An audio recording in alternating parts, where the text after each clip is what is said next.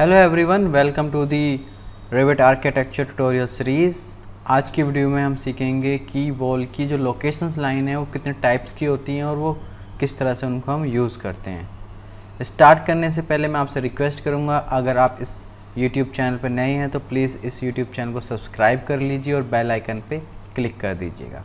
एक और बात मैं कहना चाहूँगा, अगर आपको मेरा काम को आप सपोर्ट करना चाहते हो, आपको लगता है कि आपकी इससे हेल्प होती है और उस काम को आप सपोर्ट करना चाहते हो तो आप पैट्रॉन जो डिस्क्रिप्शन में लिंक दिया है, वहाँ पे जाके मुझे सपोर्ट कर सकते हैं। दरअसल पैट्रॉन में होता क्या है पैट्रॉन में अगर आप क्लिक करेंगे उस लिंक पे तो आपका अकाउंट बनाने का आएगा, फिर आप उसमें पेमेंट का ऑप्शन आएगा। तो जो आप कितना भी पेमेंट कर सकते हैं, जो मिनिमम पेमेंट मैंने रखा हुआ है, वो है टेन डॉलर और टेन डॉलर अगर आप पे करते हैं इंडियन पीपल जो इंडियन लोग हैं, वो भी उसे पे कर सकते हैं और बाहर के भी लोग पे कर सकते हैं। टेन डॉलर जब आप पे करेंगे इंडियन करेंसी में ऑटोमेटिक कन्वर्ट हो जाएगा। तो पे करने का फ़ायदा ये है कि मैं आपसे नंबर शेयर करूँगा, आप मेरे को कॉल कर सकते हैं, आप बात कर सकते हैं और आपकी डिमांड पे, आपको अगर किसी टॉपिक पे, किसी सॉफ्टवेयर पे वीडियो ट्यूटोरियल चाहिए तो वो आपकी डिमांड पे बन सकता है और वीडियोस के अंदर आपका नाम भी शो होगा। तो ये इसके बेनिफिट्स हैं कि आपकी डिमांड पे वीडियो बनेगी और आपसे मैं चैट भी कर सकता हूँ व्हाट्सएप पे और बात भी कर सकता हूँ आपकी किसी भी सिविल इंजीनियरिंग प्रॉब्लम्स को लेके। तो ये एक मंथ का प्लान होता है ten dollars per month please support कीजिएगा मुझे, क्योंकि सिविल इंजीनियरिंग ट्यूटोरियल सीरीज़ में ऑडियंस बहुत कम है, जिससे व्यूज़ बहुत कम आते हैं और अर्निंग बहुत कम आती है। तो मेरे मोटिवेशन को बनाते हुए आप प्लीज़ पैट्रियन पे मुझे सपोर्ट ज़रूर करिएगा। तो चलिए स्टार्ट करते हैं।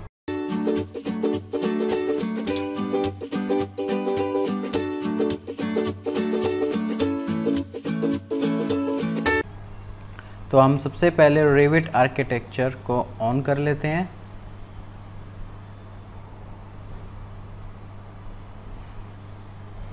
उसके बाद हम आर्किटेक्चर टेम्पलेट को यूज़ ले लेते हैं। अब यहाँ पे जब हम वॉल को सिलेक्ट करते हैं तो देखिए यहाँ पे एक ऑप्शन आता है लोकेशन लाइन इस लोकेशन लाइन की ही बात हम कर रहे हैं कि क्या होती है और इसमें जितने भी टाइप्स हैं सबको हम समझेंगे आराम से स्टेप बाय स्टेप तो सबसे पहले मैं एक वॉल ड्रॉ कर लेता हूँ और वॉल हम लेते हैं ये वाली brick block exterior render on brick block ठीक है? इसको मैं एक छोटी सी वॉल जूम ज़्यादा कर लेते हैं, इससे विर्थ दिखाई दे, ए इसको हम ड्रॉ कर लेते हैं, छोटी सी वॉल एक मीटर की हमने ड्रॉ कर ली, इसको और बड़ा कर लेते हैं। और यहाँ पे जाके आप इसको कर लिए रियलिस्टिक और यहाँ पे जाके कर दीजिए फाइन जो उसकी सारी डिटेल नज़र आई। देखिए, ये है हमारी वॉल ठीक है? तो सबसे पहले जो हमारी जो वॉल है, इसको समझते हैं। देखिए, ये होती है हमारी कोर वॉल ये है हमारी कोर वॉल जो मजबूती देती है, जो स्ट्रेंथ देती है, जो मेन वॉल है। उसके बाद ये फिनिशिंग है। किसी मटेरियल की ये फिनिशिंग है, उसके बाद ये है, उसके बाद ब्रिक है, उसके बाद दूसरी फिनिशिंग है और उसके बाद एक पतली सी लेयर यहाँ पे फिनिशिंग है। ये अलग अलग तरह की है। तो टोटल वॉल की थिकनेस हमारी जो आती है, ये। बट जो कोर वॉल है, जो मेन वॉल है, जिसके सहारे सब कुछ टिका हुआ है, जिसमें स्ट्रेंथ सबसे ज़्यादा है, वो है ये। ठीक है? ओके अब सबसे पहले जो हमारा लोकेशन लाइन सेट है, पहले से वो है वॉल सेंटर लाइन अब मैं कोई वॉल ड्रॉ करता हूँ तो आप ज़रा देखेंगे कि जो मेरा जो माउस का कर्सर है सेंटर लाइन है डैश डैश वाली, वो कहाँ से जा रही है होके? वो इस पूरी वॉल के थिकनेस के बीच में से जा रही है। यानी कि वो पूरी वॉल का सेंटर लाइन ले रहा है। यानी कि हम जब ड्रॉ करेंगे तो डिस्टेंस मेजर जो होगा, वो पूरी वॉल के सेंटर लाइन से होगा। ठीक है? इस तरीके से ये देखिए। अगर हम इसे रोटेट करना चाहें तो यहाँ क्लिक करके मैं दोबारा से यहाँ पे क्लिक करके इस तरह से रोटेट करूँगा इसको। जो भी डिस्टेंस होती है वो सेंटर से लेता है। ठीक है, चलिए इसको हम चेंज करते हैं। वॉल और हमने यहाँ पे चेंज कर दिया कोर सेंटर ठीक एक एक करके एक एक चीज़ को समझेंगे। वॉल सेंटर आप समझ गए, यानी कि वॉल सेंटर का मतलब है दोबारा से कि पूरी थिकनेस का सेंटर कहीं भी आ सकता है वो, पूरी थिकनेस का सेंटर अब हम सेकंड पॉइंट लेते हैं कोर सेंटर जैसे कि मैं आपको बता चुका हूँ कोर ये है तो शायद इसी का सेंटर होना चाहिए। चलिए देख लेते हैं एक वॉल ड्रॉ करके। वॉल और यहाँ पे कोर सेंटर और ये हमने ड्रॉ की। ये देख सक, देखिए आप, ये सेंटर लाइन कहाँ से ले रहा है? डैश डैश लाइन देखिए।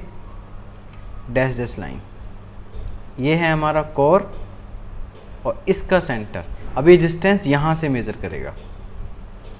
ठीक है? अच्छा एक सवाल उठता है कि ऐसा क्यों?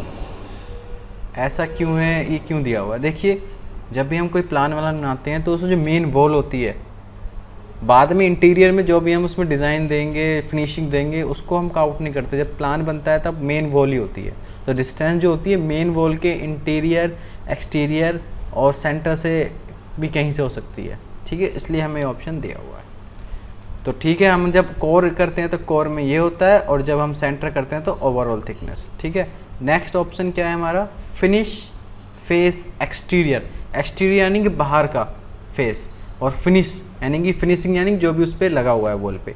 क्या लगा हुआ है वॉल पे? ये सब चीज़ें लगी हुई हैं। तो देखिए, ये देखिए। ये हमारी वॉल है और वॉल का ये इंटीरियर पार्ट है। और ये एक्सटीरियर पार्ट है। तो एक्सटीरियर यानी आउटर में हमारा ये फेस है तो आउटर फेस जो है वहाँ से डिस्टेंस मेज़र करेगा, वहीं से वॉल बनाएगा, इस तरीके से। ठीक है? अब नेक्स्ट को चलते हैं फिनिश फिनिश लिखा रहा है यानी कि ओवरऑल ठीक है? अब ये इंटीरियर ओवरऑल लेगा, देखिए आप। ये इंटीरियर फेस है। और ओवरऑल पूरी वॉल के थिकनेस के जो इंटीरियर फेस है, उसको ये बोल रहा है। नेक्स्ट ऑप्शन देखते हैं हम। कोर कोर का एक्सटीरियर बताइए, क्या होगा? गैस कीजिए, पाँच सेकेंड है। एक, दो, तीन, चार, पाँच। कोर का एक्सटीरियर होगा ये।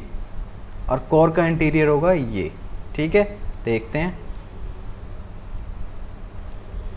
ये देखिए। कोर का एक्सटीरियर ये है। ठीक है, अब दोबारा हम इसको चेंज करते हैं कोर इंटीरियर और कोर इंटीरियर देखिए ये। कोर इंटीरियर आपका और जूम करके बताता हूँ, ये वाली लाइन है, ना कि ये वाइट वाली लाइन जो वाइट सर्फ थिकनेस है, उसके आउटर वाली। नहीं, ये वाली है, क्योंकि हमारी कोर यहाँ से यहाँ तक है केवल। ठीक है तो जब हम इस तरह की वॉल यूज़ करते हैं, तब हमारा ये कोर इंटीरियर कोर एक्सटीरियर ये सब हमारा काम आता है। तो इसी को बोलते हैं हम वॉल की लोकेशन लाइन अगर ये आपको समझ में आया हो और इससे आपकी हेल्प हुई हो तो प्लीज़ मैं मेरे चैनल को सब्सक्राइब करना, लाइक करना ना भूलें और बेल आइकन पर क्लिक करना ना भूलें। और अगर आप मेरे वर्क को सपोर्ट करना चाहते हो तो डिस्क्रिप्शन में दिया हुआ जो लिंक है पैट्रियन का, उस पर जाके आप मेरे को सपोर्ट कर सकते हैं। थैंक